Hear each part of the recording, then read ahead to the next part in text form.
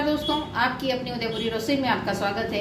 आज हम धनिया की चटनी बनाने जा रहे हैं। तो धनिया की चटनी बनाने के लिए हमें जिन सामग्री की आवश्यकता है, वह है धनिया। इसे हमने साफ़ धो लिया है बढ़िया दो तीन बार अच्छे पानी से। लहसुन की छः सात कलियाँ, अदरक, इसको भी हमने अच्छा साफ़ कर लिया है, उसे काट लिया है। टमाटर एक लिया है, दो हरी मिर्च, जीरा।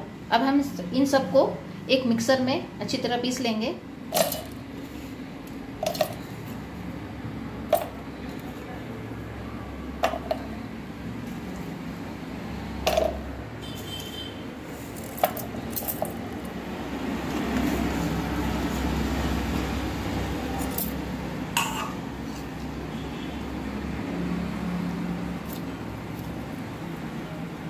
थोड़ा सा नमक डालेंगे।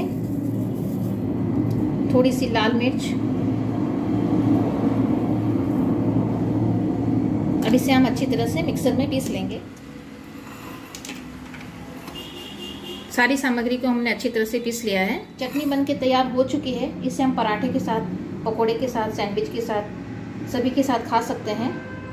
दोस्तों, आपको हमारा वीडियो पसंद आए तो इसे लाइक कीजिए शेयर कीजिए और सब्सक्राइब करना ना भूलें। पास में बेल बटन को ज़रूर दबाएँ। नमस्कार।